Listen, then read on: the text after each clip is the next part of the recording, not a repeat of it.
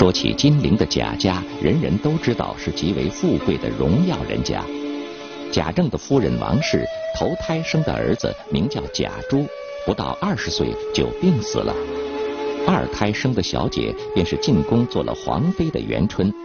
第三胎的公子最称奇，一落胞胎，嘴里便衔下一块五彩晶莹的玉来，上面还有许多字迹，就取名叫做宝玉。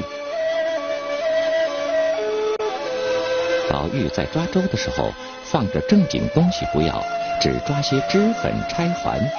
长大后果然不爱功名，喜欢在脂粉堆里混日子。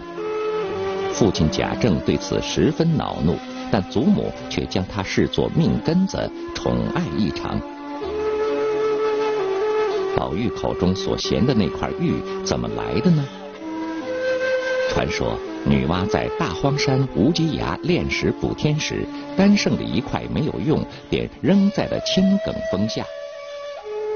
一僧一道大施魔法，把这块石头变成一块鲜明莹洁的美玉，还镌刻了字，让他下凡到昌明隆盛之邦、温柔富贵之乡去安身乐业。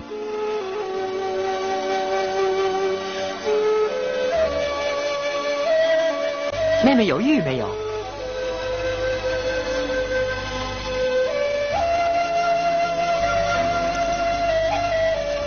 真的没有。哥哥的玉是件稀罕物，怎么会人人都有呢？什么稀罕物？我不要这老石子。二哥哥好。二哥哥，二哥哥，别别！孽障孽障呀！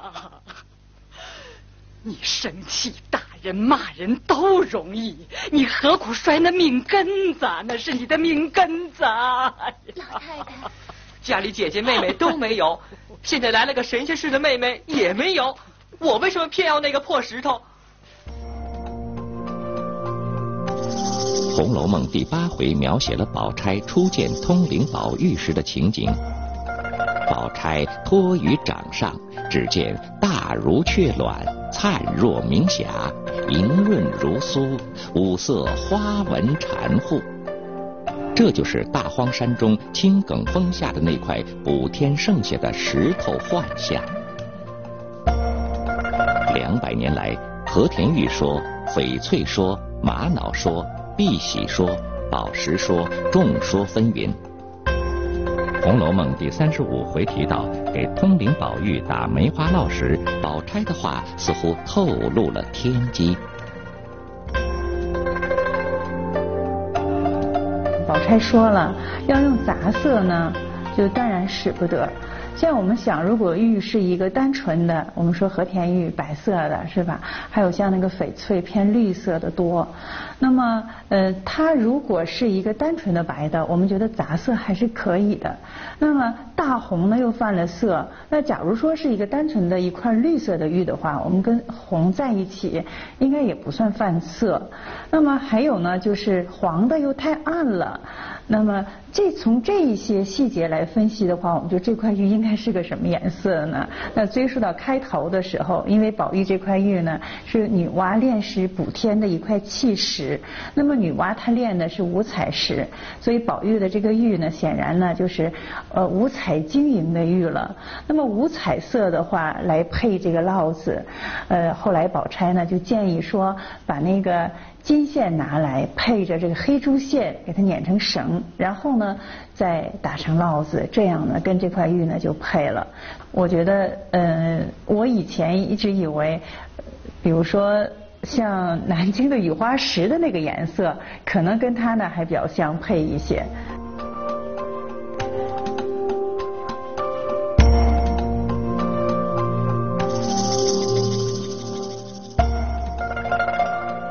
曹雪芹祖上三代四人在清代相继担任江宁织造一职近六十年，管理着宫廷所需的丝织品，是显赫一时的官宦人家。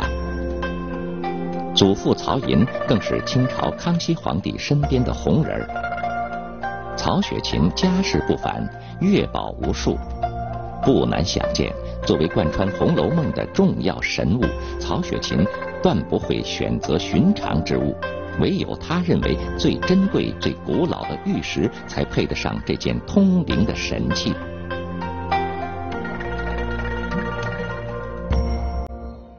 要揭开通灵宝玉的神秘面纱，我们首先不妨去探究一下哪里才是曹雪芹笔下的大荒山。北京故宫博物院古器物专家丁梦认为，大荒山就是今天的长白山。长白山位于吉林省东部，是满族的发源地，在清朝有圣山的美誉。《山海经》中记载，长白山在远古时代就被称为大荒山。长白山的天池边有个天祸峰，天祸峰上最大的一块奇石就叫补天石。我认为通灵宝玉呢就是岫岩玉，岫岩玉呢产自中国东北的这个长白山脉。早在新石器时代呢，就出现了用岫岩玉制作的这个刻刀和手镯。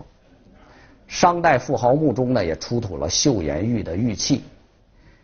汉代。刘胜墓中的金缕玉衣的玉片也是用细岫岩玉呢制作的。到了清代，岫岩玉呢的使用呢达到了一个高峰。通灵宝玉的颜色呢是这种五色，我认为呢它应该就是岫岩玉中的花斑玉。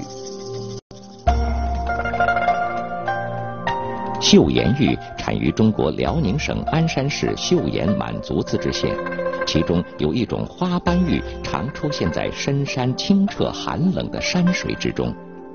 这种玉石颜色俏丽，有绿、黄、蓝、红、黑等多色花纹，这与通灵宝玉的五色花纹缠护、五彩晶莹极为相似。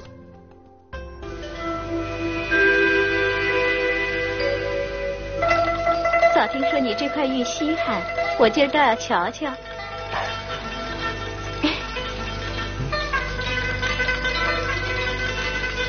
莫失莫忘，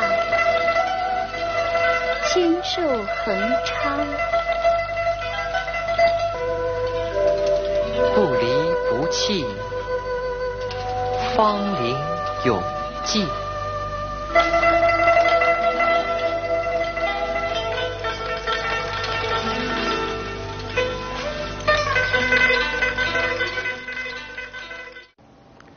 薛宝钗带着金锁遇到有玉的人呢，方可成婚。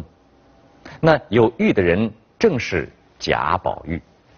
这块玉佩呢是有灵性的，它暗示了宝玉和宝钗之间的金玉良缘。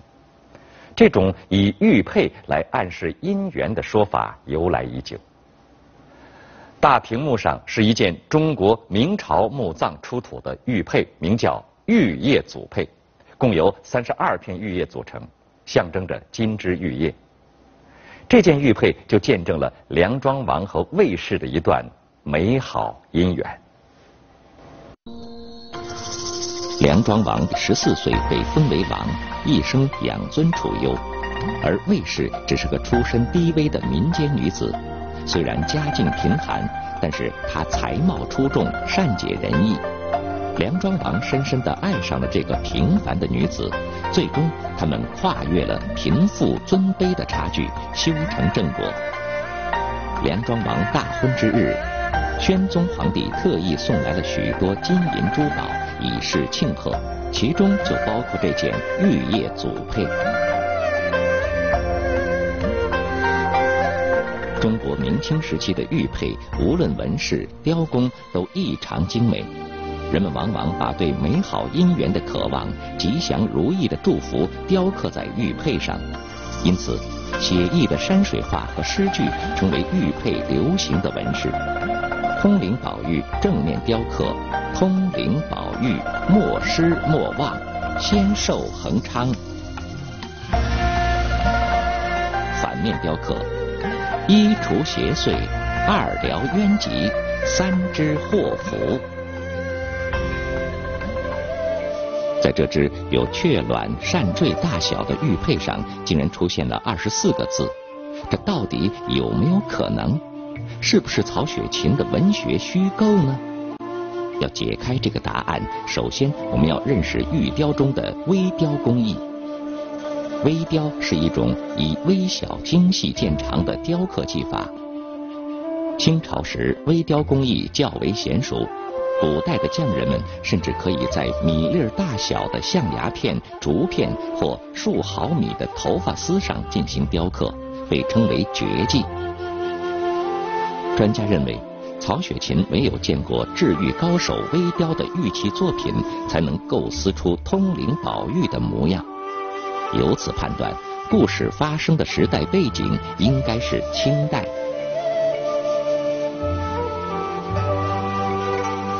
薛宝钗的金锁已经让林黛玉心烦意乱，史湘云身上的金麒麟成了林妹妹的又一大心病。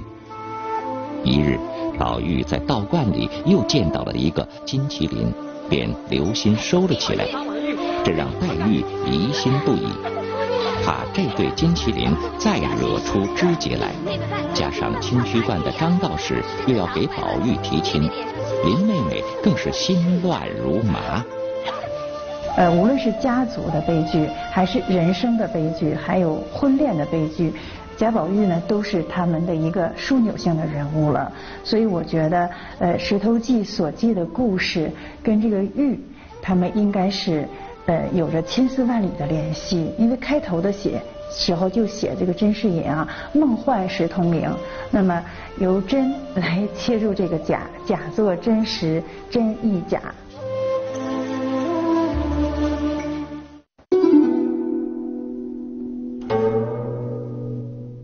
《红楼梦》第三十九回，刘姥姥来到荣国府，给当家的二奶奶王熙凤送了些乡下的瓜果野菜。不想贾母知道了，留他多住两天，正好赶上了贾母在大观园里请客给史湘云还席。刘姥姥是王熙凤和王夫人家的亲戚，虽然是个乡下人，却是个公关能手。他先和凤姐儿攀上了亲戚，又故意装疯卖傻出洋相逗贾母开心。这位乡下老太太能迅速领会世态人情，懂得识趣儿凑乐。老刘，老刘，食量大如牛，吃个老母猪不抬头。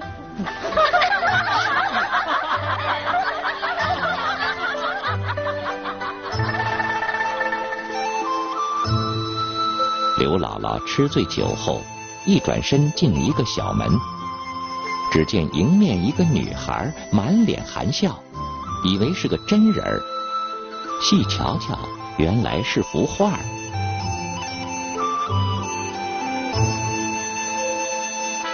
刘姥姥掀开了葱绿撒花软帘，走进去后，只见四面的墙壁玲珑剔透，琴键平炉都贴在墙上。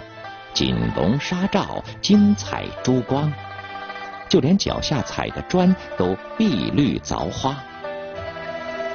房中左边一架书，右边一架屏，屏后看到一扇门，才要出去，只见他亲家母也从外面迎了进来。亲家母。我几天没家去，你就找来了？是哪个姑娘带你进来的？啊啊！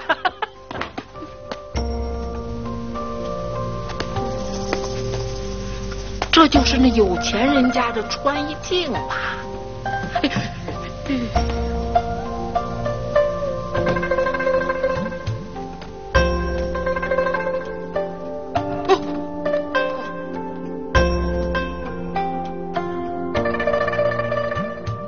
刘姥姥看到的这面镜子呢，是西洋的玻璃镜。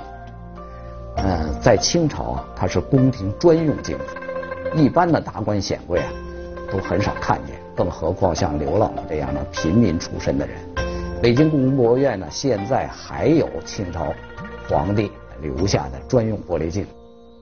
这种大型的镜子呢，被叫做玻璃插屏，是立在地上使用的。他是把这个玻璃镜片镶嵌在紫檀木的木框中。刘姥姥在大观园中伸手一推，镜子就可以开合，说明宝玉的穿衣镜呢是一个设计非常精巧的宝物。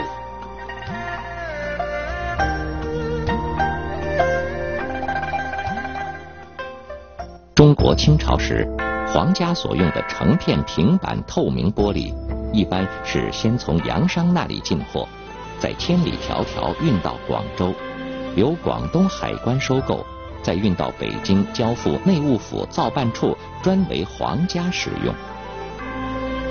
当时玻璃价格昂贵，一平方米玻璃的价格相当于一处五邻瓦房的价钱。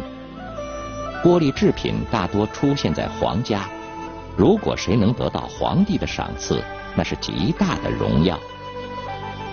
为康熙皇帝讲学的高士奇，在他的文集中曾记载：康熙四十二年的一天，讲学结束后，康熙皇帝召他至养心殿，赏赐各器二十件，又自西洋来镜瓶一架，高可五尺余。每到冬日下雪，大观园里的景色格外耀眼。青松翠竹并无二色，人仿佛装在玻璃盆里一般。龙翠庵里红梅簇簇，如胭脂般映着雪色。《红楼梦》第四十九回写道：“宝玉因记挂着心事，一夜睡得并不安稳。”天亮了，就爬起来，从玻璃窗内往外一看，原来不是日光，竟是一夜的雪，下的将有一尺厚，天上仍是搓棉扯絮一般。小说里边几次写到这个玻璃，往往和这个琥珀呀、玛瑙啊、水晶啊是并提的。那么有一次，晴雯把这个扇骨给折了，宝玉呢就动了怒。那么晴雯说：“我们平时啊，这个玻璃缸啊、玛瑙碗啊，不知打碎了多少，也没见你这样动气。那么意思是说，诚心看不上我们了。如果是烦了之后，就把我们撵走，再找好的使唤。那么这段情节里也从这个。晴雯的叙述当中，是玻璃还是很珍贵的。《红楼梦》写到的这个贾府这个家族呢，应该说是当时呢是能够享受到很多这种奢侈品的，比如说这个玻璃窗，因为过去呢要不是窗户纸，要么是用那个像林黛玉的房间是用那个霞影纱，是用纱来糊窗户的，那么用玻璃是很奢侈的。但是小说几处呢还是写到了玻璃窗。比如说，在这个周瑞家的送宫花，看到李纨在睡中觉的时候，就写那个隔着玻璃窗。说起金陵贾家的富有啊，人尽皆知。贾不假，白玉为堂，金作马，说的正是贾家。贾宝玉从小啊，锦衣玉食，穿金戴玉，房里呢更是随处可见。珍玩字画、青铜玛瑙，这些东西呢，宝玉大多看不上眼。然而，有一样东西，宝二爷却十分看重，自己啊从来都不舍得用了。巧了，这东西它也是玻璃做的。这一天，黛玉犯了咳疾。宝玉在秋雨绵绵的夜晚，提着灯笼去探望病中的林妹妹。呃，宝玉见到黛玉之后呢，就把这个灯啊，呃，拿到她的前面来看看妹妹的气色好些了没有，很关心的样子。那么林黛玉呢，先看到宝玉的这个蓑衣啊，说很好，就是说不像市面上的那个像刺猬一样。宝玉说：“那你要你喜欢的话，这是北京王给的，我也给你弄一套。”那么林黛玉说：“我不穿，我要穿呢，就像这个呃画上画的和戏上扮的鱼婆一样了。”那其实他刚刚说完宝玉像鱼。渔翁此时自己呢说像渔婆，他就有点不好意思了，那么满脸绯红就咳起来了。所以林黛玉呢小呃小说里边经常写她咳的时候，往往是。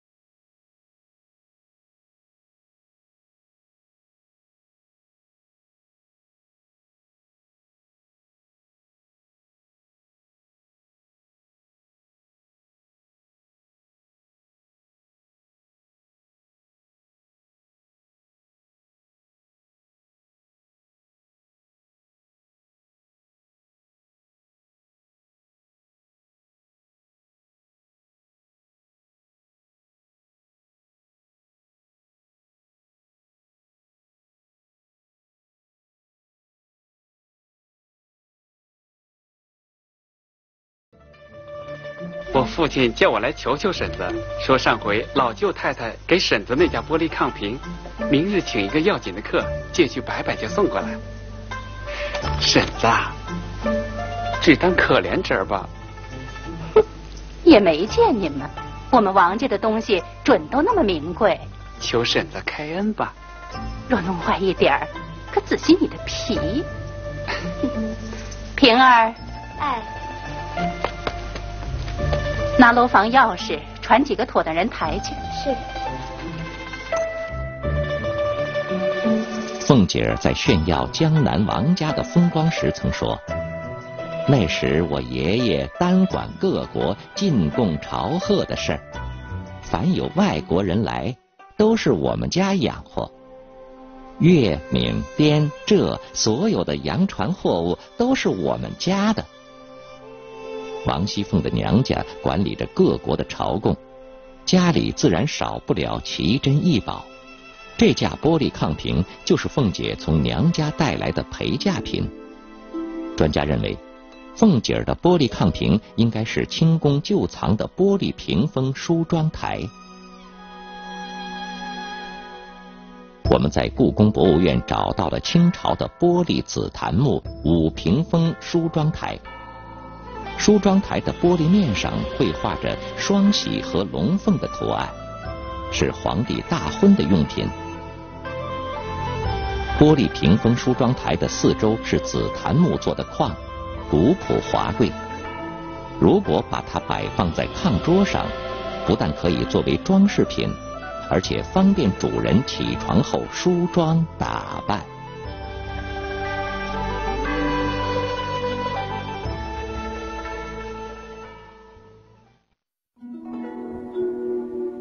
王熙凤，人称凤姐、凤辣子。是龙王来请金陵王的王家的大小姐，幼时在家中被当作男孩子教养，养成了杀伐决断的性格特点。凤姐长着一双丹凤三角眼，两弯柳叶吊梢眉，性格爽快，敢作敢为。在嫁给贾琏为妻后，深受贾母的赏识，最终获得了荣国府的管家权。我来迟了，不曾迎接远客。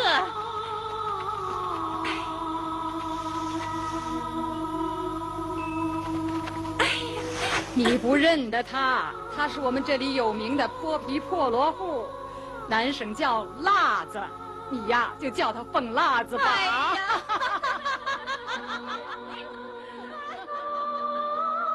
红楼梦》第三回，林黛玉初到贾府时，曹雪芹就给了凤姐儿一个惊艳的亮相。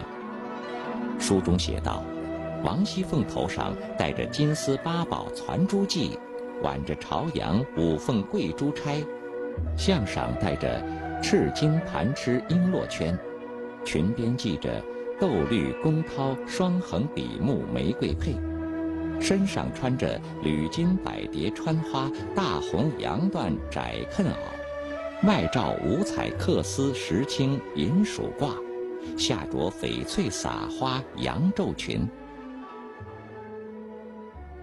凤姐头上的五凤贵珠钗是中国清朝后宫女子较多使用的发饰。清朝女子长发挽成髻后，就会用簪和钗来固定头发，簪为一股，钗为两股。按照清朝典章制度，皇后佩戴九凤，贵妃佩戴七凤，而妃子头上是和凤姐儿一样的五凤图案。这是清宫旧藏的五凤簪，簪子通体点翠。五只凤鸟以金蕾丝做成，凤头龙身，身嵌红宝石，头嵌珍珠，口衔珍珠流苏，十分奢华。除了凤凰为造型的簪子，后宫嫔妃还常佩戴以蝴蝶、蜻蜓、蝈蝈等动物为题材的发簪。王熙凤名中有凤，头上戴凤，书中还将她比作冰山上的一只雌凤。或许在曹雪芹的眼里，王熙凤原本就是一只美丽的凤凰。王熙凤身穿窄裉袄，窄裉的袍褂是清朝乾隆初年流行的款式，裉是上衣靠腋下的接缝部分，窄则突出服饰的紧身之感。曹雪芹通过对服饰的描写，巧妙地将凤姐身材窈窕、体格风骚的韵味展现出来。凤姐衣服上百蝶穿花的纹样，以及真丝面料的皱裙，都是清代后宫女子的服装样式。林黛玉比王熙凤年少，凤姐儿却衣着如此华丽的迎接林黛玉，是不是有些过于隆重呢？林黛玉的母亲贾敏是贾母唯一的女儿。自幼深得贾母疼爱，只可惜早年病逝，留下了六岁的女儿黛玉。贾母因疼惜孤女，便把外孙女儿黛玉接来贾府居住，成为了口头心头的心肝宝贝。凤姐儿这一袭盛装迎接黛玉，更多的是想讨老太太的欢心。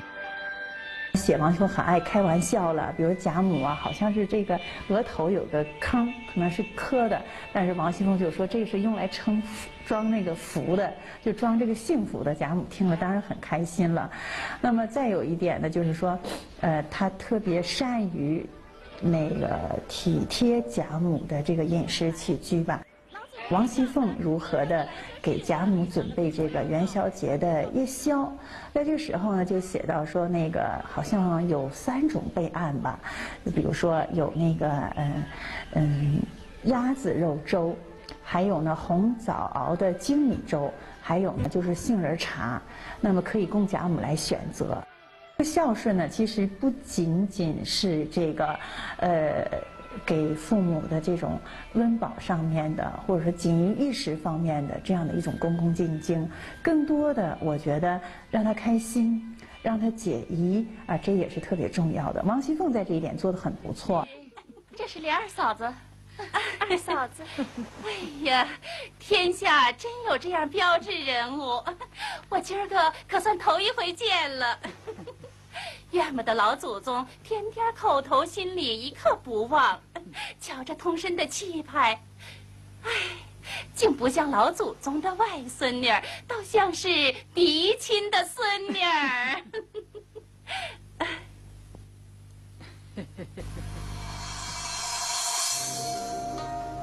这一年秋末冬初，刘姥姥因家中贫穷需要救济，带着板儿来荣国府攀亲戚。刘姥姥来到荣国府，费了半天周折才见到了王熙凤。刘姥姥进入贾府的时候，她先写未见其人的时候呢，先听到了自鸣钟，因为刘姥姥。不知道没有见过这个钟，所以他听到这个钟啊，就像那个打螺塞面一样的，听到了固定的响声的时候，王熙凤出现了。其实从这个角度，我们会感受到，如果做一个公司的老板，或者或者是一个企业的这个主要负责人的话，他准时出现，其实还证明王熙凤是一个非常敬业的呃这个管家吧。作为一个当家少奶奶，除了这个香艳的打扮、那样端庄的气质之外呢，还有这种日理万机的能力吧。王熙凤这次亮相，头上戴的昭君套，身上穿的灰鼠的披风、银鼠的皮裙，都是动物毛皮制作的成衣。冬季穿皮衣、皮裙是女真族的服饰文化习俗。女真人利用貂鼠、青鼠等各种动物的皮毛，制作皮袄、皮褂、皮帽、皮眼耳、皮靴，把动物的皮裁成条子，镶在衣服的领口、袖口、衣襟或者是底摆处作为装饰。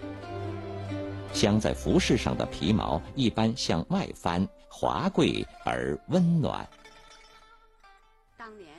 凤姐头上戴着攒珠的勒子，勒子是由中国宋代女性的包头发展而来，罩在头上避免发丝散乱。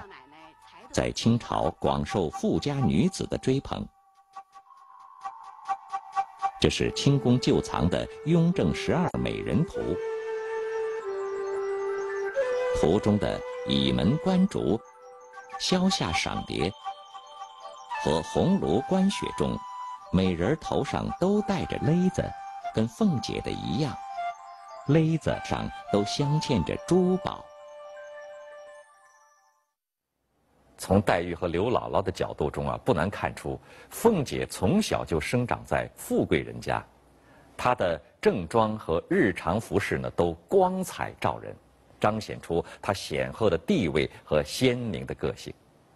然而，在王熙凤和尤二姐的较量中啊，凤姐却出人意料的衣着清素，这似乎并不符合她争强好胜的泼辣性格。有人说。这是因为凤姐啊自视清高，也有人说，这表明凤姐的内心早已暗藏杀机。话说，凤姐的丈夫贾琏是个十足风流的浪荡公子，到处拈花惹草，又看上了宁国府贾珍的小姨子尤二姐，偷偷娶了做二房。因害怕凤姐儿撒泼，安排尤二姐住在了外面。不巧，贾琏的小厮说漏了嘴，被凤姐知道此事。凤姐怒从心头起，盘算着该如何应对。贾琏要外出办差，凤姐儿便带着人来到了尤二姐的住处。二奶奶慢。慢点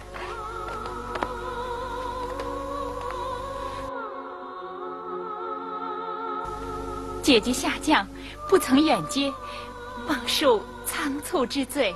啊，哪里？姐姐这可不敢。《红楼梦》第六十八回写道：只见凤姐头上皆是素白银器，身上月白缎袄，青缎披风，白绫素裙，眉弯柳叶，高调两梢。目横丹凤，神凝三角，俏丽若三春之桃，清素若九秋之菊。王熙凤其实是够做宋诗的，就是律诗的。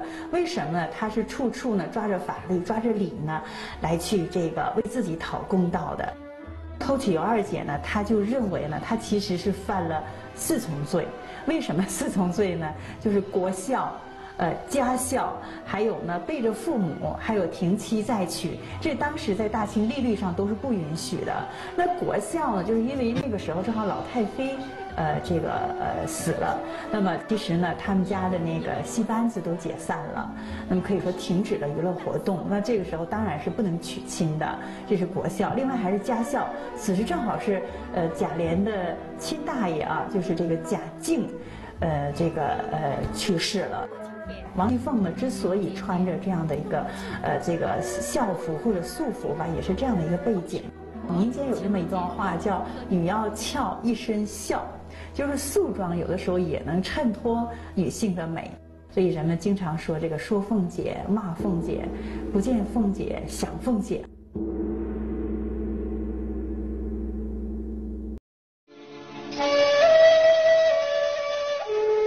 这一年过端午节，元春给宝玉的节日礼物又分了下来。《红楼梦》第二十八回写道：袭人将娘娘所赐之物取了出来，只见上等宫扇两柄，红麝香珠二串，凤尾螺二端，芙蓉垫一领。别人跟我的都是一样吗？你同宝姑娘的一样。林姑娘和二姑娘、三姑娘、四姑娘都只有扇子和数珠，别的就什么都没有了。这是怎么个缘故？我和宝姐姐是一样，和林妹妹倒不是一样是不是传错了？不会的，都是一份一份写好签子的，怎么会呢？元妃这份礼单中最扎眼的就是红麝香珠。麝是一种鹿科动物，前肢短，后肢长，体小耳大。雄性麝的腺囊会分泌一种液体，这种分泌物干燥后呈颗粒状或块状，颜色发黑，味道虽然苦涩，但却有奇异的香气，称为麝香。麝香中颗粒状的麝香仁质量最好，俗称当门子。麝香香气浓郁，味道持久。曾引得无数才子佳人、帝王将相为之着迷。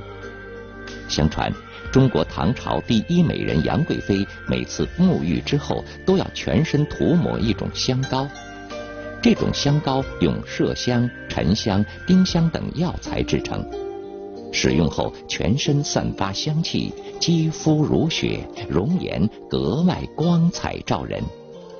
这种奇香让唐玄宗神魂颠倒。同样被麝香迷惑的还有北魏的孝文帝。传说后宫女子冯妙莲将麝香做成鸡香丸，制成米粒大小，塞进自己的肚脐。用过之后，冯妙莲遍体生香，似仙女下凡。孝文帝闻之欲醉。冯妙莲因身有奇香，获得孝文帝的专宠，当上了皇后。这和书很热播的清宫剧《甄嬛传》中，甄嬛怀孕后用了掺有麝香的舒痕胶，在太阳底下跪了不足半小时就小产。华妃、齐嫔也都因为麝香不能有孕。虽然电视剧有艺术夸张的成分。但是孕中妇女不能使用麝香，似乎人尽皆知。皇，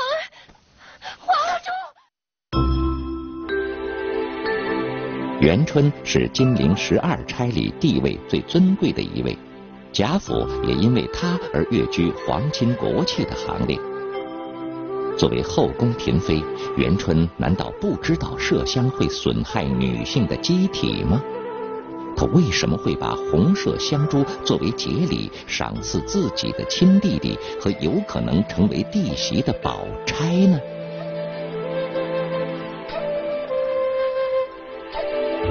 红麝香珠并不是红色的麝香珠子，因为香珠是一个专有的名词，是带有香气的珠子。这里出现的香珠，我认为就是红色的玛瑙手串。为什么叫红麝香珠呢？每年的端午节前后，宫中按照定例都会大兴赏赐避暑的药包。定子药呢，就是比较常见的避暑药。定子药中最贵重的一味药材就是麝香。红色的玛瑙手串，在经过带有麝香的避暑药的浸泡和熏蒸之后，不但能散发出香气。而且还有避暑的功效。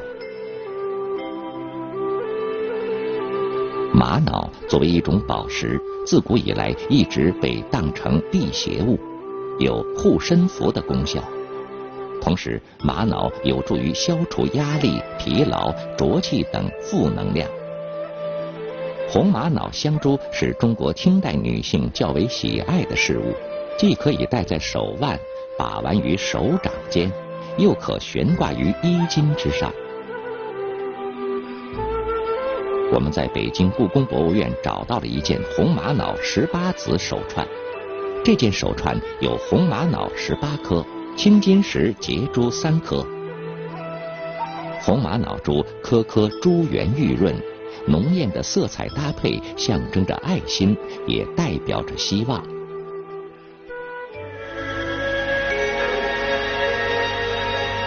这是娘娘给你那个。嗯，是的。给我瞧瞧。嗯，宝钗这个人啊，是喜欢素雅的。她不愿意披金戴银，也很少戴这个首饰。那么这个时候呢，宝钗为什么把这个呃元春给的这个礼物呢，却很快的就把它戴在这个手腕上了，以至于呢，呃，宝玉看到了这个宝钗戴的红色香串呢，又去想摘下来看的时候，小说里写呀，说宝钗这个肌肤丰润，容易摘不下来，那个容易应该是轻易的意思，就轻易摘不下来。这里边呢，宝玉又有一些想入非非。那么他看到宝钗那个雪白的臂膀的时候，他就想了，说这个膀子哈，怎么就长在他身上了？固然是写宝玉为宝钗的肌肤所打动过，就她的外在的美，还是打动了宝玉的。但是他内心其实想的还是林妹妹。但是我们说，元春为什么此时这个独独钟情于宝钗呢？可能在十八回的时候，他呃回来省亲嘛，他关注了两个外姓的女子，那么就是一个应该是姨太太的女儿宝钗，还有姑太太的女儿这个黛玉。那么小说就写呀，这个薛林二妹的诗作是与众不同的，而且呢，在元春的眼里，看到他们两个都如娇花软玉一般。其实。在那个时候，他可能还是呃薛林啊共同来欣赏的。可是他回去以后呢，就把某些想法就倾向于宝钗了。啊，妹妹经不住风吹，怎么站在风口里？我在屋里的，只听外面一声叫唤，出来瞧瞧，原来是只呆雁。啊，呆雁在哪儿？我也看看。我一进来。它就飞了，飞了。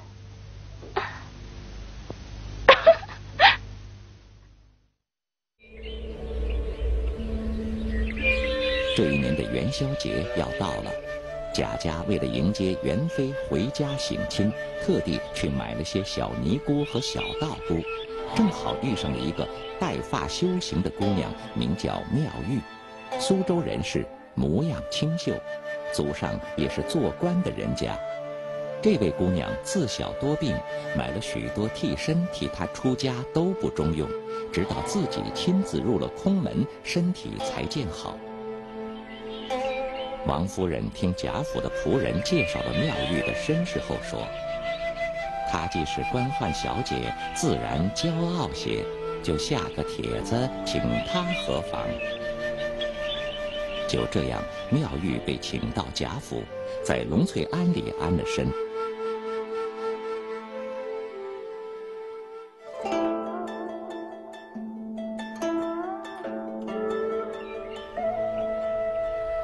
红楼梦》第四十一回，贾母和刘姥姥一行人吃了些酒肉后，来到了龙翠庵，妙玉忙接了进去。只见妙玉亲自捧了一个成窑五彩泥金小盖钟奉与贾母，其余众人用的都是一色的官窑脱胎甜白盖碗。我不吃六安茶。知道，这是老君梅。哦。这是什么水呀？是旧年捐的雨水。哦。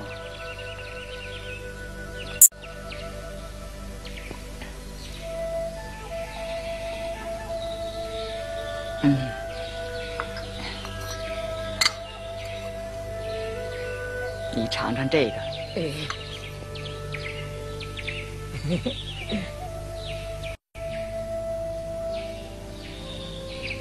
好是好，就是淡了些，要再多熬就好了。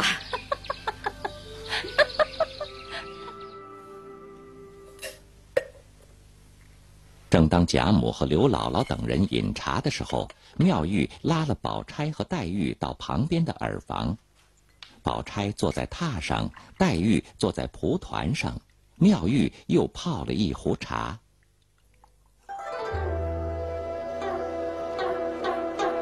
妙玉递给宝钗的茶杯呢，叫班袍甲。这个茶杯呢，不是瓷器，而是葫芦器。班袍呢，是带把的。刨器，刨器呢是明末宫中太监刘九公发明的。他在葫芦生长的时候呢，给它加上模具，啊，等葫芦长大了再把模具拆掉，啊，葫芦呢就长成了模具要求的样子。这种器皿呢，后来从宫中传到了民间，为文人所喜爱。甲呢是古代的青铜酒器，有把。班袍甲呢是一种葫芦形的酒器。班袍甲上刻着一行小字，引起了我们的注意。这行字是“晋王凯珍丸”，又有“宋元丰五年四月，眉山苏轼建于秘府”。这行字写明此器是中国近代大收藏家王凯的珍。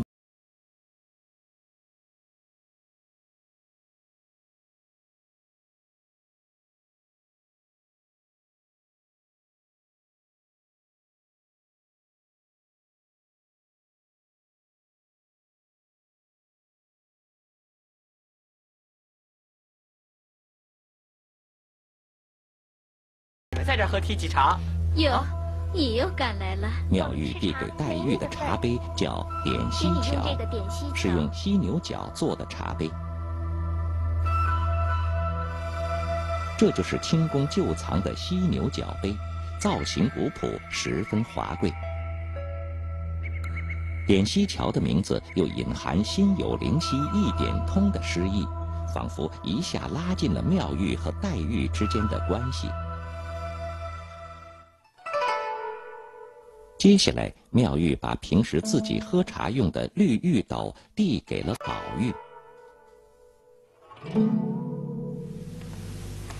杯子没了，给你用我的。你们佛经上讲世法平等，怎么单单给我这个小的？《红楼梦》第四十一回，宝玉接过绿玉斗，笑道：“他两个就用那样的古玩真器。”我就是个俗气了。妙玉道：“这是俗气，不是我说狂话，只怕你家里未必找得出这么一个俗气来。整个贾府也找不出这样的俗气来，说明这个绿玉斗是难得一见的珍品。绿是颜色，玉是质地，斗是指可以喝茶的器皿。”这就是清宫旧藏的绿玉斗，呈方形，白中泛绿，口大斜收，似一块不惹尘埃的美玉。这种纯净透明的质地与妙玉雅洁的性格不谋而合，这也不免让我们联想到妙玉可怜金玉质，落陷污泥中的悲惨命运。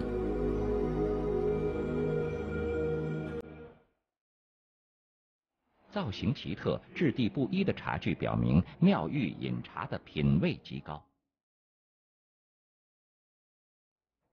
清朝时的茶文化丰富多彩，宫廷里曾出现过大量设计精巧、惹人怜爱的茶壶、茶碗。紫禁城里的雍正皇帝爱喝茶，更爱造型奇特的茶杯。这只玛瑙茶杯是雍正皇帝的最爱，曾存放于紫禁城的乾清宫。茶杯由天然玛瑙制成，乳白的底色上飘着黄色及黑色的片状花瓣，散发出浑然天成的高贵气质。这个翡翠盖碗颜色油润，碗壁透明。它的主人就是翡翠的发烧友慈禧老佛爷。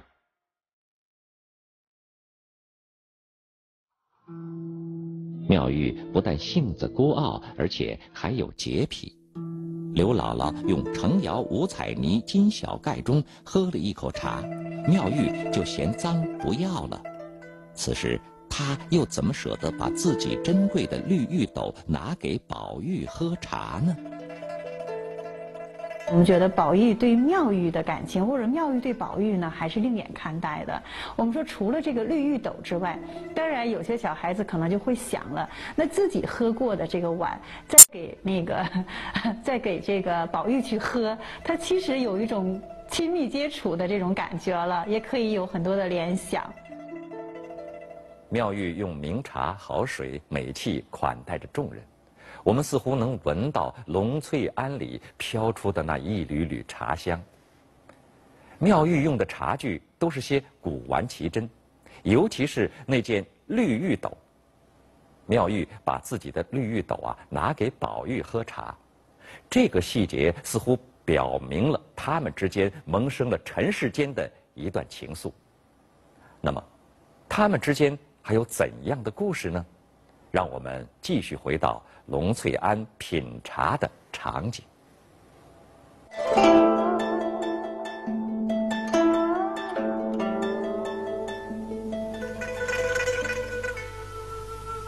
哎，这也是旧年的雨水。你这个人怎么连谁也尝不出来？这是五年前我在盘香寺住着收的梅花上的雪，埋在地下，总是舍不得吃。今儿是第二回，你们赶上了，算你们有口福。中国古人称雪水为天泉，每年冬天下的第一场雪，在雪花未融化时，将雪水收集起来。这样的雪水没有溶解土壤中的杂质，水质较软，如用雪水泡茶，茶香浓郁。清代的乾隆皇帝就非常重视烹茶的水质。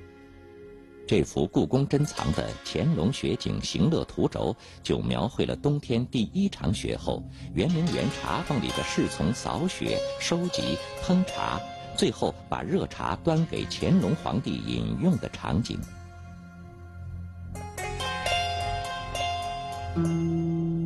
妙玉虽然为人清高，但唯独对贾宝玉另眼相看。有一次，李纨带着众姐妹和宝玉赏雪联诗的时候，众人想要梅花，龙翠庵的梅花最好，但似乎没有人能叩开妙玉的门。李纨就派宝玉去取红梅。那接下来呢？宝玉去龙翠庵，他怎么去叩开黛玉呃妙玉的门？又如何的呃这个折到了红梅？小说没有细写，但是通过他回来之后写的那首诗，我们能感受到呢，这个情节还是很有诗意的。比如说这个“不求大事平中路”。为起嫦娥砍外梅，那意思就是说，当宝玉敲门的时候，说，嗯，我是来向嫦娥来求这个梅花的。他把这个妙玉呢比成了嫦娥，所以从这里边，我们说妙玉和宝玉之间应该还是有某种情愫在里的。尽管小说在十八回写到妙玉来到大观园的时候已经十八岁了，那么表宝玉呢应该还是一个十二三岁的男孩，但是这里边可能年龄不是。问题。一个妙龄少女在如花的年纪，却选择与青灯古殿相伴。也许正是曹雪芹对妙玉的怜惜，才让她和宝玉之间产生了隐约的好感，以至于出现了龙翠庵品茶时，妙玉把自己的绿玉斗拿给宝玉喝茶的经典场景。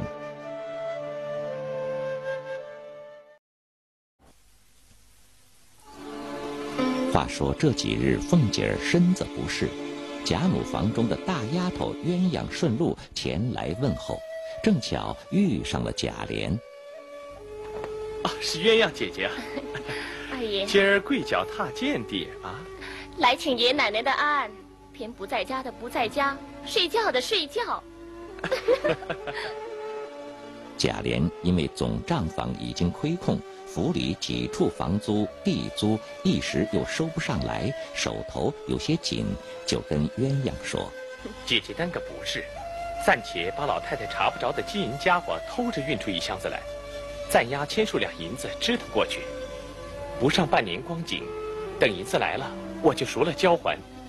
哎，断不能叫姐姐落不是。你还挺会变法，亏你怎么想得出来。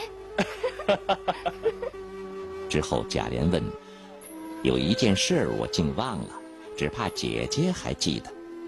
上年老太太生日上，曾有一外路来的和尚孝敬了一个蜡油洞佛手，因老太太爱，就即刻拿过来摆着了。”因前日老太太生日，我看古董账上还有这一笔，却不知此时这件东西着落何方。古董房的人也问过我多次，等我问准了，好注上一笔。所以我问姐姐，如今还是老太太摆着呢，还是交到谁手里去了呢？贾琏的话道出了贾母房中的这件古董蜡油洞佛手。一般寻常的物件是不能摆进贾母房里的。那么蜡油洞佛手究竟是什么稀世珍宝呢？要揭开这件古董的神秘面纱，我们首先要从贾母说起。贾母又称史太君，娘家姓史。是《红楼梦》中的四大家族之一，贾母是贾府的最高统治者。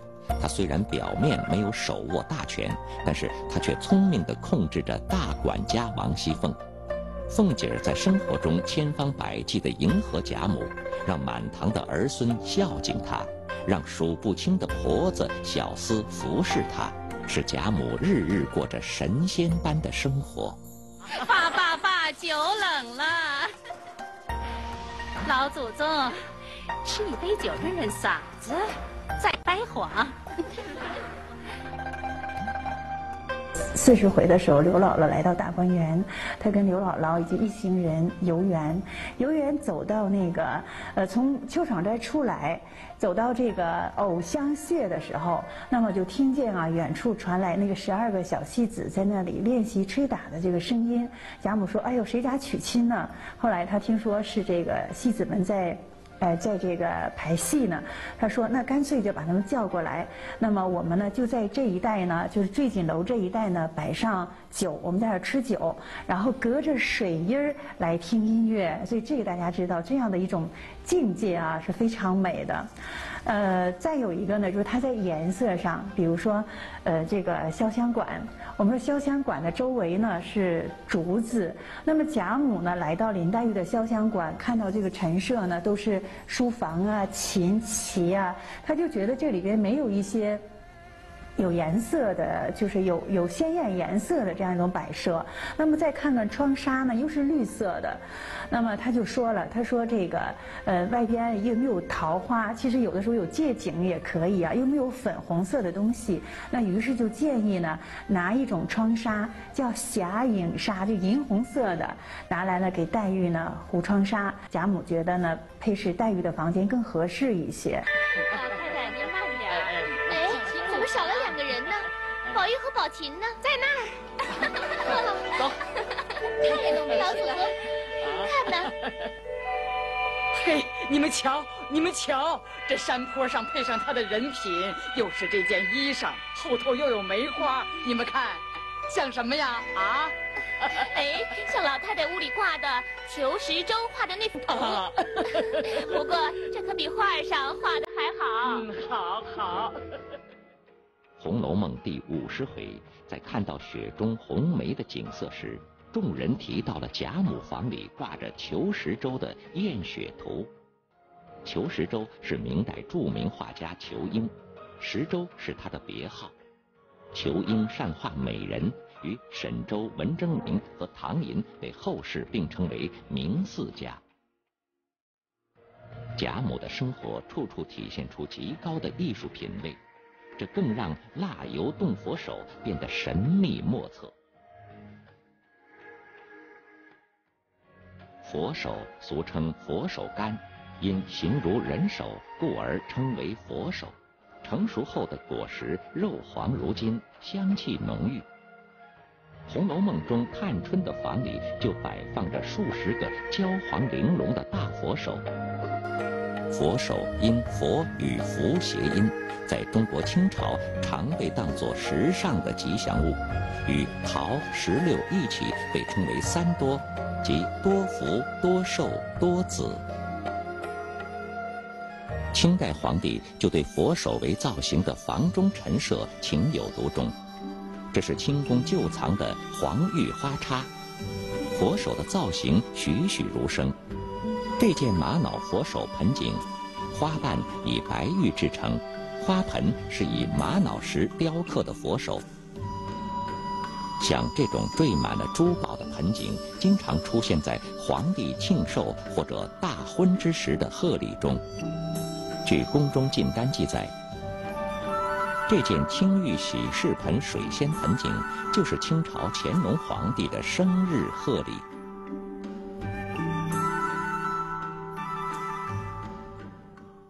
专家们认为，蜡油洞佛手极有可能就是珠宝盆景。可接下来争论的焦点集中到了“蜡”字上。一种观点认为，蜡油洞是一种罕见的名贵石料，成色就仿佛腊肉的肥肉部分；而另一种观点则认为啊，蜡油洞为一种罕见的黄色化石。那么，世上到底有没有蜡油洞佛手呢？现存文物中啊，我们能不能找到贾母房里的这件古董呢？有的专家认为，蜡油洞出自中国浙江省青田县，是青田石中最优质的灯光洞。灯光洞色泽微黄，在光的映照下璀璨如灯辉，因此得名灯光洞。在北京故宫博物院就收藏了一枚乾隆皇帝的青田石印章，而在田黄石的故乡中国福建寿山也流传着类似的说法。传说女娲补天之后，把剩下许多大小不一的灵石撒向了风景秀丽的寿山乡，瞬间这些灵石变成了色如蜜的田黄石。田黄石中有一种田黄冻，温润如玉。这枚田黄三连章就是乾隆皇帝的传家宝。还有的专家认为，蜡油冻就是蜜蜡。蜜蜡是一种颜色如蜜、光泽如蜡的树木枝叶化石。这种宝物触手温润，色泽艳丽。年头久的老蜜蜡呈深黄色，有的甚至颜色发红。这蜡油洞佛手就是蜜蜡佛手。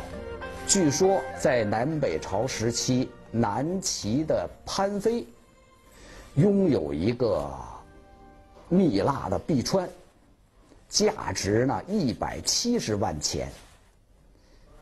一百七十万钱呢，在当时足可以。买到这个当时的这个都城健康，也就是现在南京的一个上好的大宅子，所以呢，它是非常贵重的。现在呢，在北京故宫博物院仍然珍藏着清宫流传下来的啊蜜蜡佛手。这就是珍藏在北京故宫博物院的蜜蜡佛手盆景。盆景的主景为佛手树，沉香木枝干，金蕊白玉花，蜜蜡制作的佛手果，个个红润而富有光泽。